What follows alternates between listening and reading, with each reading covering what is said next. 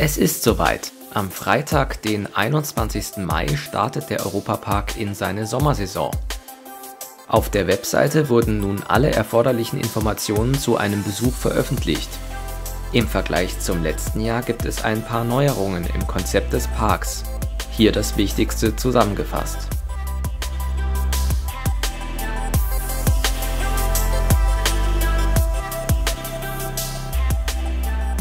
Wie auch im letzten Jahr gilt, vor einem Besuch müssen Tickets für ein bestimmtes Datum gekauft werden, da die Besucherzahl deutlich reduziert ist. Diese können danach nicht mehr umgetauscht oder auf ein anderes Datum gebucht werden. Gäste mit Behinderung, Kinder unter vier Jahren und Geburtstagskinder erhalten auch spontan Zutritt, für sie muss im Voraus kein datiertes Ticket gekauft werden. Neuerdings möchte der Europapark mit gestaffelten Preisen dafür sorgen, dass die Besucher sich besser auf die Saison verteilen. Deshalb kosten Tickets in der Sommerzeit vom 17. Juli bis zum 13. September sowie in der Halloween-Zeit vom 9. Oktober bis zum 7. November 60 statt 55 Euro. Es wird also ein Zuschlag von 5 Euro zum normalen Preis fällig. Für Hotelgäste gilt auch in diesen Zeiträumen der normale Preis von 55 Euro.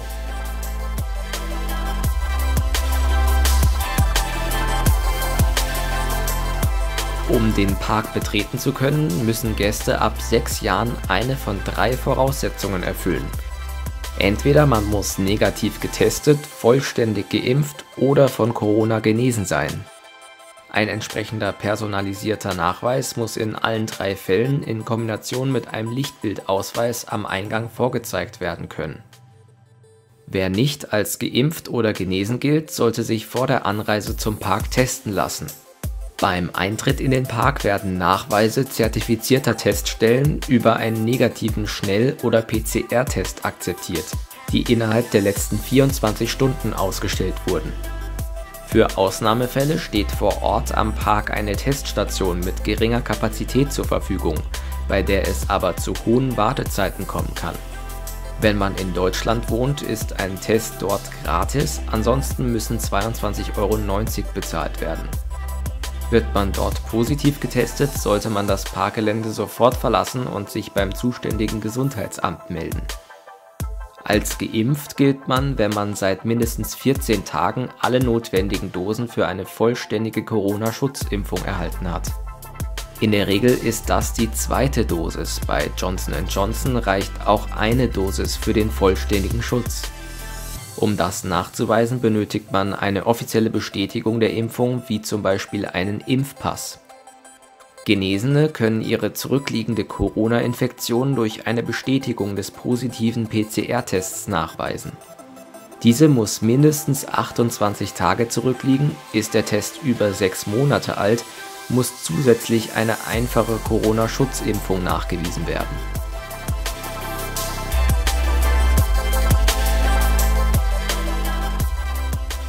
Die üblichen Vorteile der Clubkarte wie der unbeschränkte freie Eintritt oder der Eintritt in Partnerparks ist weiterhin wie im letzten Jahr pausiert.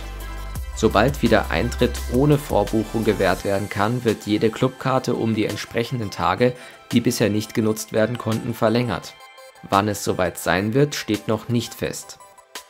Neu ist, dass nun auch Besitzer einer Clubkarte, die inzwischen nicht mehr gültig ist, ein kostenfreies Ticket im Monat buchen können Voraussetzungen dafür sind, dass die Jahreskarte bis mindestens 28. März 2020 gültig war, man sie also wegen Corona nicht uneingeschränkt nutzen konnte und man die Möglichkeit der Erstattung nicht genutzt hat.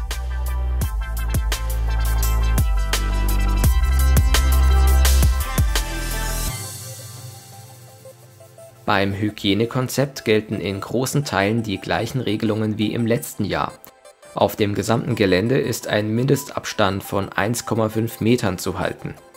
In Wartebereichen befinden sich zur Orientierung markierte Abschnitte, die jeweils nur von drei Personen aus demselben Haushalt betreten werden dürfen. Neu ist, dass für Besucher ab sechs Jahren nun grundsätzlich im gesamten Park eine Maskenpflicht herrscht, also auch auf allen Wegen im Außenbereich sowie auf den Attraktionen bei den Masken muss es sich um medizinische oder FFP2-Masken handeln. Einfache Stoffmasken sind nicht mehr erlaubt. Endlich kann es losgehen. Am Freitag startet der Europapark nach der langen Pause in die Sommersaison. Falls ihr einen Besuch plant, wünsche ich euch viel Spaß und bleibt gesund. Ciao.